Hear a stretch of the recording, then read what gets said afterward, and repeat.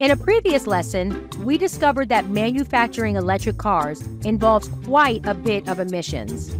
However, when you consider the overall impact, they come out as a much better environmentally friendly option compared to gas cars, especially after a lifetime of driving. So, if electric cars are the greener choice, why isn't everyone driving one? Well, one major roadblock is the cost. I mean, it's one banana, Michael. What could it cost? $10? Up front, EVs are usually more expensive than gas cars. They require expensive battery elements to manufacture, which raises their sticker price quite a bit. But hold on.